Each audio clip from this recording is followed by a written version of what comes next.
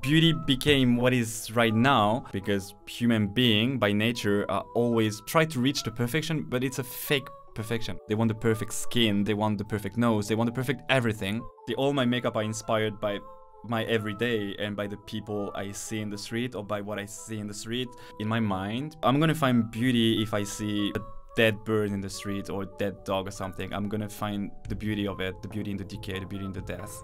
And I'm gonna find beauty in someone crying the bus. It's really, really hard because I have a, I'm a, I'm a very weird mind. So for me, beauty make me feel something for this challenge, I didn't want to express what beauty means to me, but what beauty is at the moment for most of the people. So I took some medical tape and I tried to lift my model on the forehead and on the neck area. I did a heavy foundation on her, slightly darker than her skin. I just tried to give her the really that kind of photoshopped face. So I applied several layers of liquid foundation. So I was gonna go to put her cheekbones higher. So for that, I just used a dark brown contouring cream below the cheekbones. I used the same cream to give her a nose job as well, just to really give her that artificial face. And then the judges came to me, they were like the medical tape.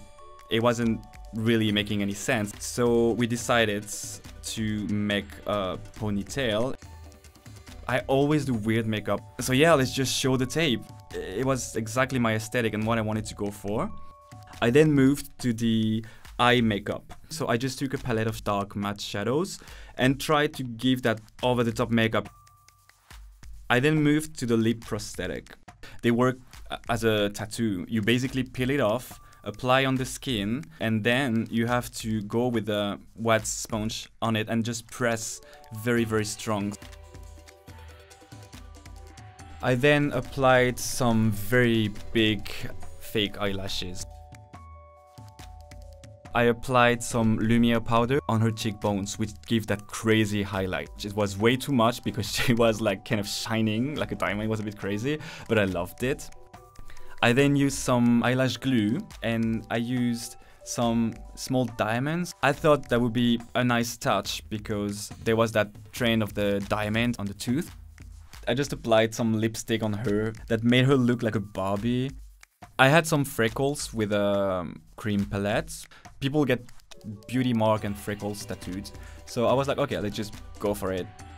In the end, I added some lip gloss on the top of the prosthetic and the lipstick. So I do special effects, I do weird monsters, I do old people, I do this kind of stuff. So for me to challenge myself on the first creative challenge with that kind of makeup, I was really really scared.